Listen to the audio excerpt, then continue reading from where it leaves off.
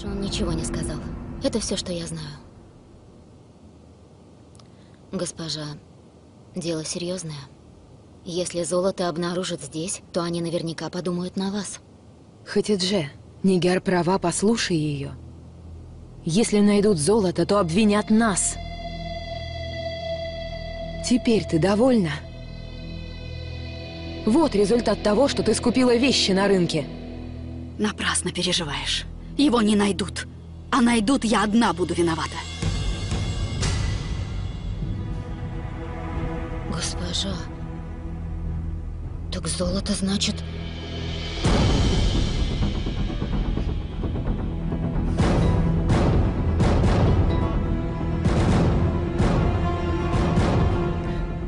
Я ведь уже говорила тебе. В общем, надо отвезти его во дворец и сдать все это золото. Нет, никогда. Да, Хатидже, не упрямься. Пока золото тут, у нас не будет никакого покоя. Вина не на тебя только. Но и на меня, и на Лютфипашу ляжет.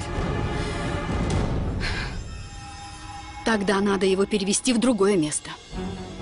Куда ты отвезешь столько золота? А? Допустим, перевезешь. А как ты будешь охранять золото Хатидже? Я хорошенько все подготовлю. И перевезем его ночью. Если ты не расскажешь, откуда кто узнает?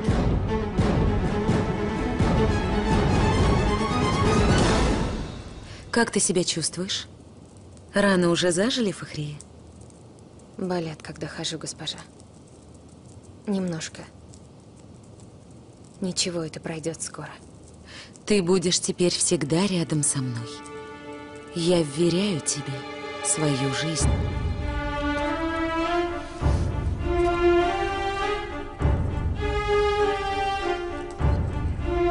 Клянусь, я буду вам верна до своего последнего вздоха, милостивая госпожа.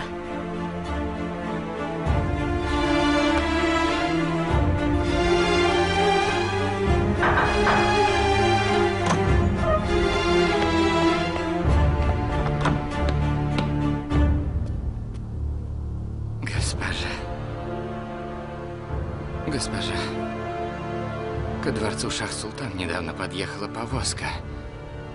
На нее грузят золото.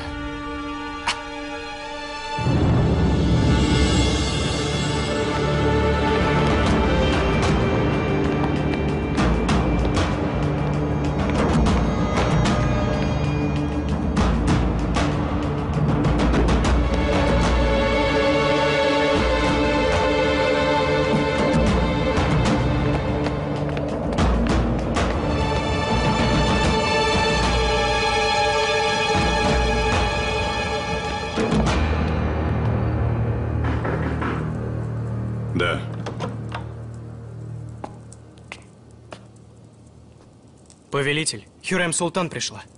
Пригласи.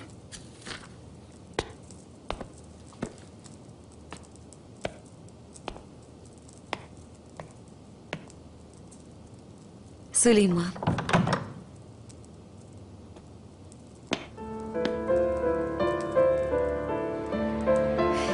Вестей от нашего зодчего не было еще? Сказал, осталось немного. Скоро закончит, и ты все увидишь. Мой вакф уже активно работает. Надо столько сделать, построить лечебницу, медресе, школу, трапезную. Все сделаем со временем. И я хочу, чтобы все это было объединено в одно целое. Да. Повелитель, Рустем Паша пришел. Зови.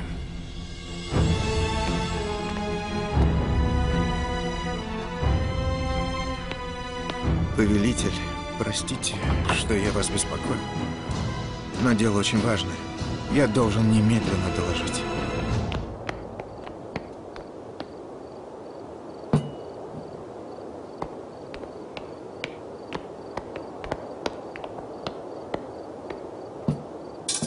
Веселей, шевелись!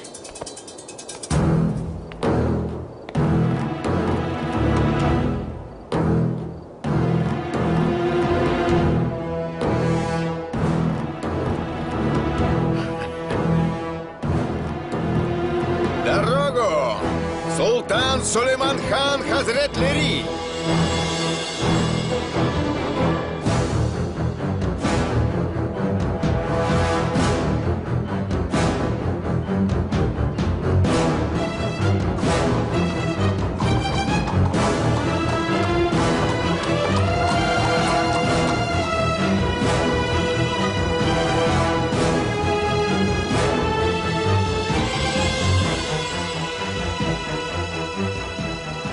Откройте кувшины.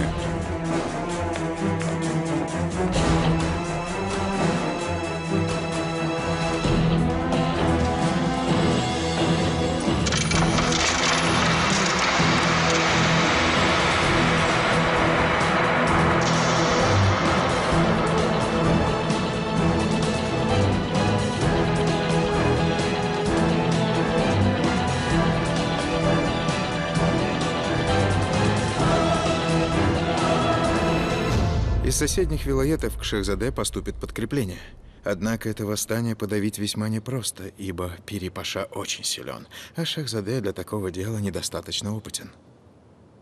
Шехзаде Мустафу не нужно оставлять без нашего внимания. Ты будешь рядом с ним. Необходимо, чтобы он совершил какую-либо ошибку. И ты должен обеспечить это. Я получил приказ повелителя, госпожа. Падишах уже решил, чтобы я в Диарбекир отправлялся. Тебе не надо об этом думать, это я беру на себя. Ты ведь готов выполнить мое поручение, не так?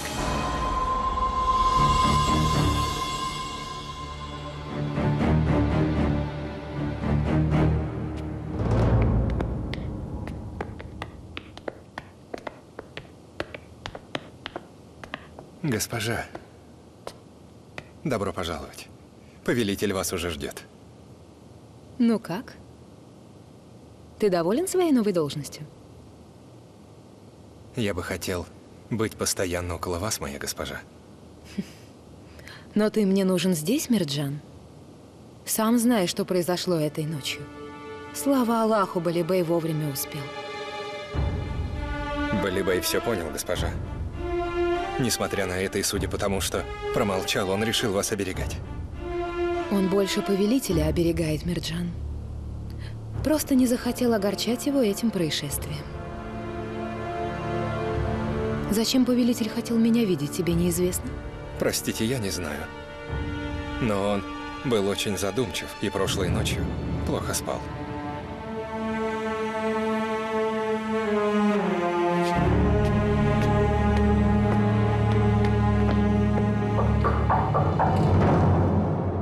Да.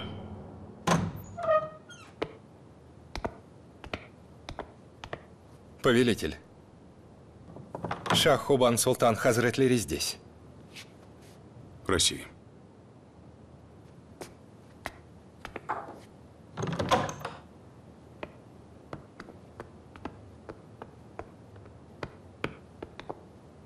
Повелитель. Вы хотели меня видеть? Шаххубан.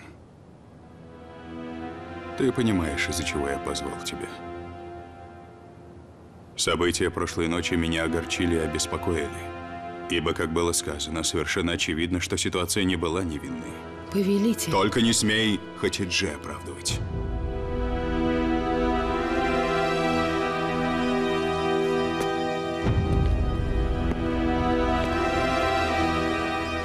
Знаю, это она не отдавала золото. Но не только на этот раз. Она постоянно восстает против моей воли. Уже и ты не можешь ее остановить. Я столько месяцев терпел. Ждал, что гнев рассеется, боль утихнет, и она снова обретет покой. Однако вместо улучшения становится только хуже. Пришла пора положить этому конец. Какое же решение вы приняли, повелитель?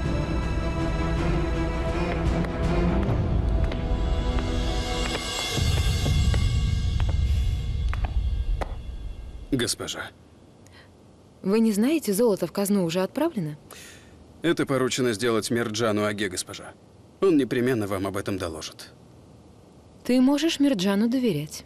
Как старший слуга, он добросовестно выполняет все, что от него требуется. Я в этом не сомневаюсь.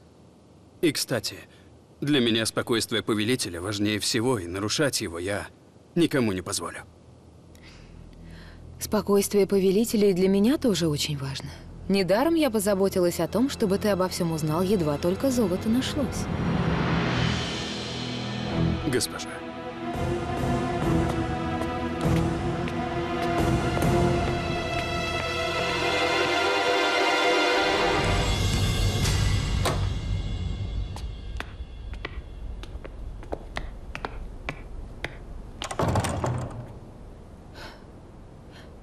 Повелитель обо всем знает, Хатидже. Да и ты прежде ему в лицо говорила, что золото принадлежит тебе. Что же теперь будет? Об этом разговора не было? Что положено по традиции, столько раздадут. Остальное золото пойдет в казну. Что будет со мной? Я тебя об этом спросила. Повелитель мой проступок никогда не простит. Неужели он снова отправит меня в ссылку? Не думаю. Но, похоже, он крайне озабочен. А какое примет решение, лишь Аллаху известно.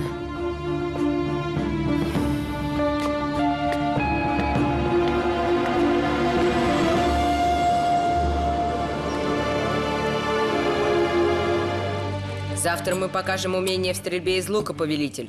В парке установим мишени для состязания. С нами будут и ученики дворцовой школы. Вот мы и увидим, кто самый искусный стрелок. И без того ясно. Я всегда его побеждал. Я много тренировался и выйду победителем. Даже не мечтай, Селим. Я самый лучший стрелок из лука. Завтра увидим, кто лучший. Вы придете на состязание? Обязательно. Хочу убедиться, что ты не хвостун. Раз завтра такой важный день, нужно раньше лечь и хорошенько отдохнуть. М?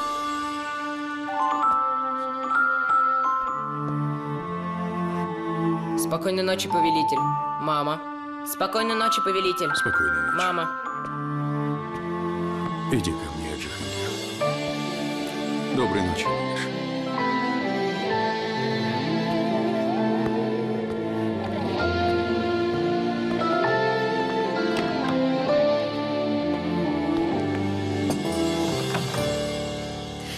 Я слышала, ты поручил Шахзаде Мустафе очень важное задание.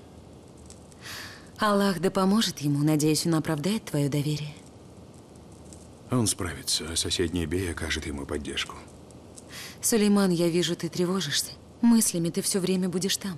А что, если и Рустема Пашу к Шахзаде отправить на помощь? Те места он хорошо знает и имеет огромный опыт.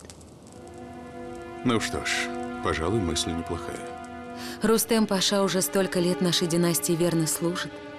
Он смог доказать, что он хороший государственный сановник. Да, знаю, его хвалят.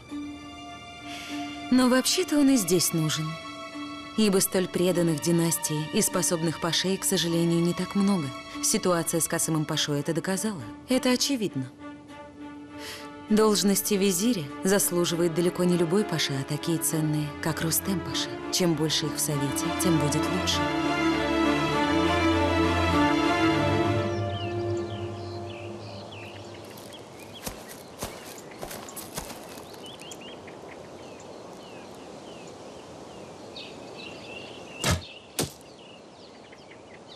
Я утром заходила, а ты уже ушел. Я был у Хатиджи. А что такое? Надеюсь, она здорова. Пока не очень. Однако скоро все изменится, поэтому я и заехал. Я принял решение выдать ее замуж.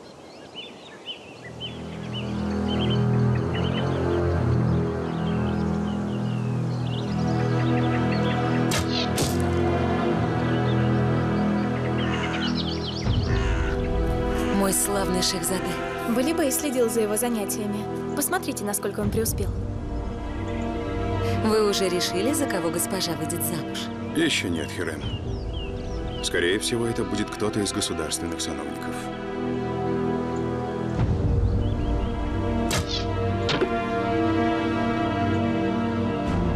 Дайте другую стрелу.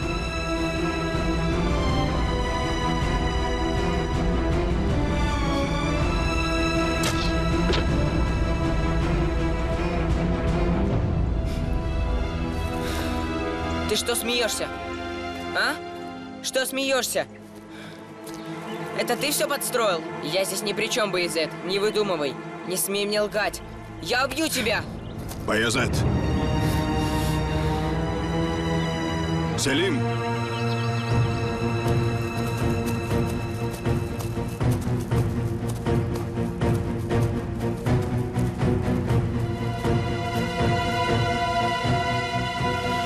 Как ты посмел? Проси прощения у Селима. Повелитель, мой лук был сломан. Иначе бы я... Малкачеглу может подтвердить. Еще раньше... Проси прощения. Я прошу прощения.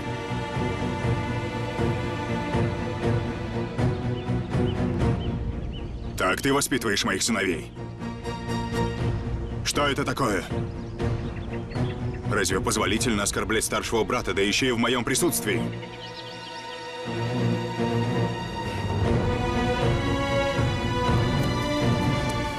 Простите, повелитель, я сейчас же приму меры.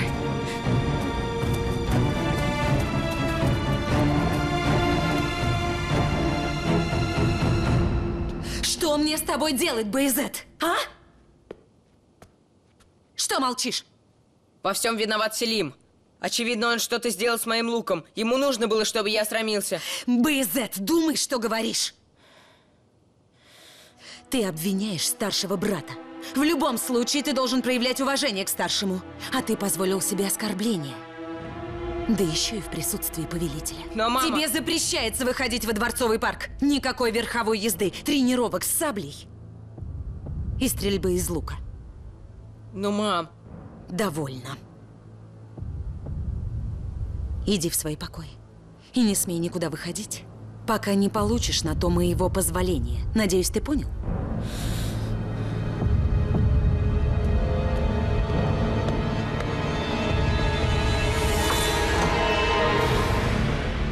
Хаджа Челеби.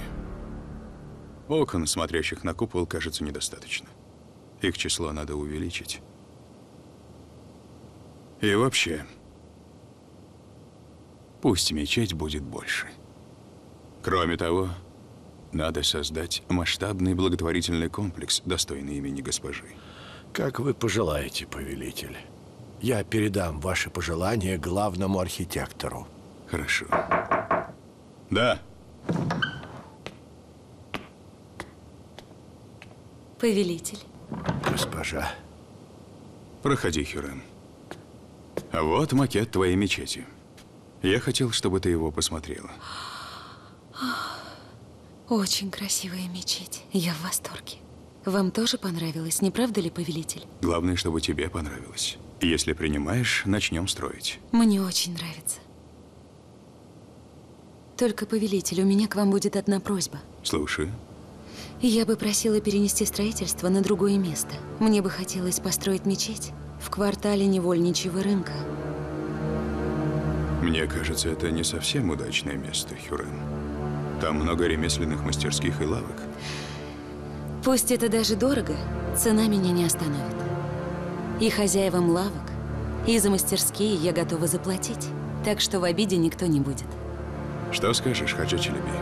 Что ж, поскольку госпожа выбрала для мечети это место, я сегодня же поговорю с владельцами построек и, безусловно, добьюсь их согласия на продажу.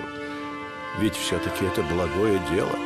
Разумеется, если вы одобряете этот проект. Одобряю.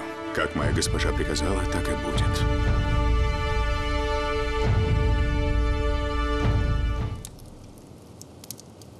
Здесь будет не только мечеть Афифа Хатун, школа для мальчиков, медресе, бесплатная кухня, больница. Все это будет единое целое. Аллах да наградит вас, госпожа.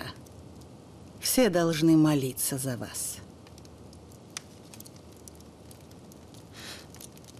Как Хатиджа Султан поживает? Она по-прежнему против замужества? Для нее это непросто.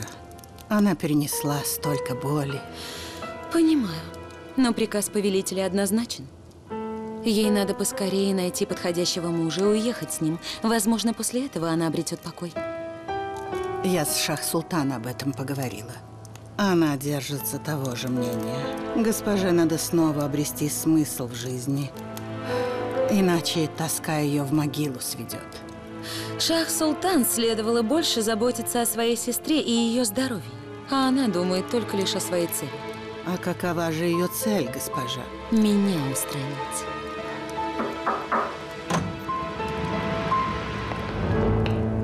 Заходи, Михримах. Я хочу тебе кое-что показать. Вот мечеть, которую я построю. Красиво.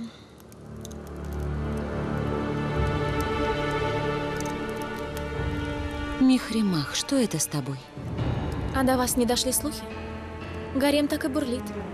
Все связь были бы и с Махан Султан обсуждают. Неужели ты не знала об этом, Афифа Хатун?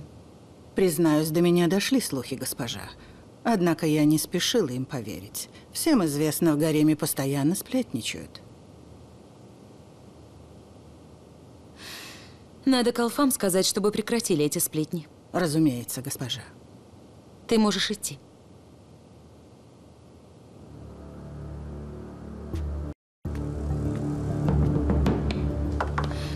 Михримах, что такое? Почему ты так взволнована? Неужели слухи на тебя так действуют? Нет. Я просто подумала, что вы захотите это узнать.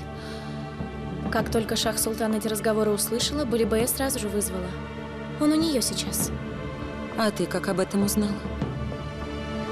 Эсмахан мне сказала. Она потрясена. Говорит, Шах Султан собирается ее за Балибея выдать замуж.